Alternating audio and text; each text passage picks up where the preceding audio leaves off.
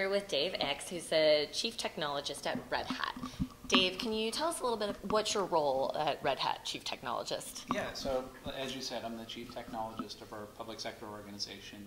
And what I do and, and what my team does is that we work together to make sure that the products Red Hat develops uh, resonate with our public sector customers. So we spend a lot of time uh, uh, working with uh, the technical leadership in, in, the government agencies, state and local, federal um, education institutions, and then we'll take the, the people as well as the requirements back to uh, our engineering headquarters and, and work with uh, our engineering leadership to make sure that the products um, designed with the requirements in mind uh, to make it uh, uh, useful to our public sector customers.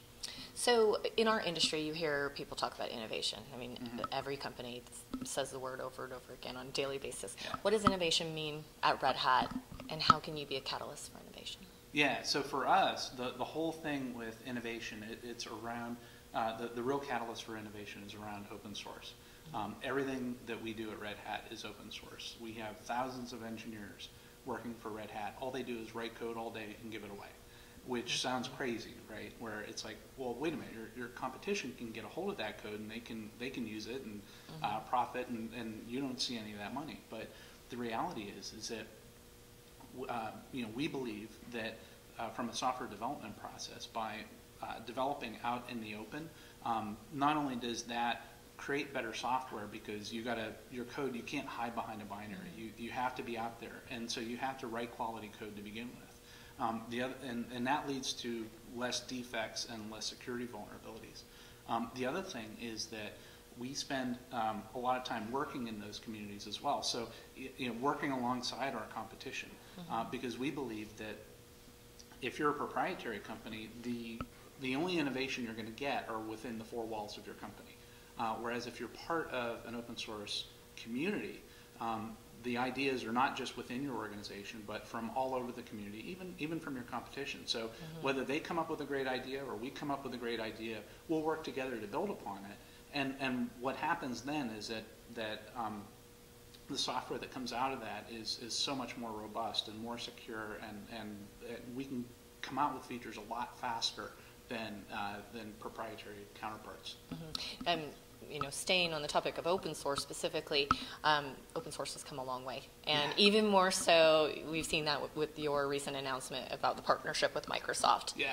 So, what does that partnership mean to Red Hat and, and really to open source and the future of open source? Yeah, so it's, it's a huge uh, thing that we've been working on for years with Microsoft. Mm-hmm. And um, it took a long time because it, it, it is a very deep relationship that we have with those guys.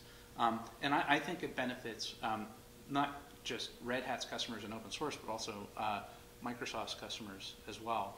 Um, so like with Microsoft customers, you know, they're so used to uh, developing on Windows Server. Maybe they're looking at the cloud. They go to do Microsoft Windows Server on top of Azure. Um, and as they are using and consuming Azure more and more, um, they may want to. They may see that the technologies that live on Windows, it may work great, but they may want to have some alternatives. And so we could provide that with our, our Linux platform. You could run our middleware on top of our Linux. You could run it on top of Windows. Mm-hmm. Um, it's all supported. So it opens choices up to them. For uh, our Red Hat customers, what it does is it broadens the playing field in terms of, of the top three cloud providers uh, AWS, Google Compute Engine, and Azure now all run uh, Red Hat's portfolio of products. So mm-hmm. um, what that does is that that increases the, the competitive landscape that and, and, provides a lot more choice for, for uh, Red Hat's customers. And so that forces those cloud providers to deliver more value. Mm-hmm. And lastly, for our for the open source folks, um, one of the things I think was overlooked in the announcement was um, our adoption of, of including uh, .NET Core inside of Red Hat Enterprise Linux. So you know, .NET that's something that's very Microsoft, very proprietary mm. for a very long time, um, and they open sourced it a little while ago. And um, as part of the new agreement, we are not only uh, uh, you know working with Microsoft uh, to, to package it and put it in there, but it's also a supported offering. So mm-hmm. Uh, for people in the open source community, I think that validates the, the open source model, seeing that Microsoft is embracing open source, and we're working together to provide supported technologies. I think that's great. Um, What about mobile? So I, I read a survey recently Yeah. from Red Hat that said 90% of companies are going to invest more in mobile app development. Yep.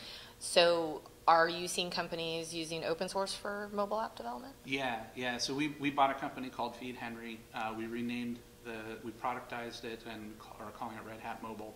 And the, the, uh, we're open sourcing that technology and that will be called FeedHenry.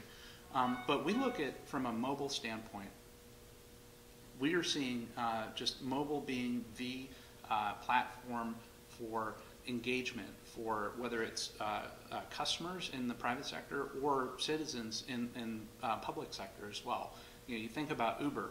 Um, you know, you're not going to pull out your laptop, boot it up, and, and call up Uber. You, you can't, for one thing, and it's too cumbersome. Whereas you pull out your phone, and so Uber, the only way they make money is through the, their mobile app Yeah. interface. So they're definitely mobile first.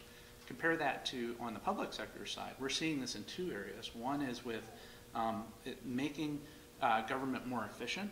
You know, I've, I've seen a lot of stories where customers are, or uh, you know, government agencies are, you know, they're, you know, things like food inspection. They're walking around with clipboards and and um, cameras, and, and they're, you know, they're doing inspections of warehouses. And, um, you know, they, they, you know, they're taking pictures or writing stuff down, and that's so inefficient boy, wouldn't it be great if there was a mobile app that could take the GPS location, you take a picture, you could, you could tag things, you Yeah. could mark it up, then it all goes in, and if all of a sudden you lose your phone or anything, it's all backed up to the cloud.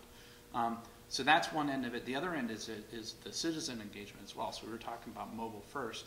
Um, I think that a lot of agencies are seeing mobile as a way to do citizen engagement, um, where, you know, just to make sure that, the, you know, for the, um, the agencies to be, to increase their relevance, or relevance with, uh, the, with their citizens, having a mobile app, uh, knowing that uh, people are spending more on mobile devices as opposed to buying laptops anymore or desktop computers.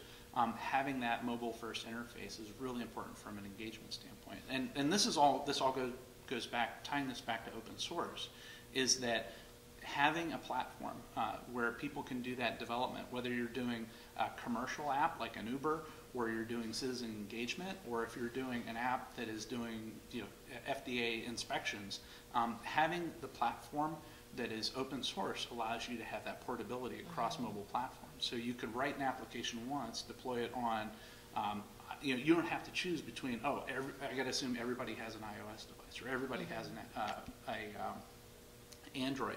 Imagine years ago when everybody had Blackberries, and now if somebody pulls a Blackberry out and everybody chuckles, right? Sorry, Blackberry. Um, but they, but you, but the thing is, is that it's like having that cross-platform. You don't need to be tied to the uh, a particular hardware platform, and, and open source provides that portability for you. Got it. Dave, it's been a pleasure. Thank you for spending some time with SIA today. Thanks.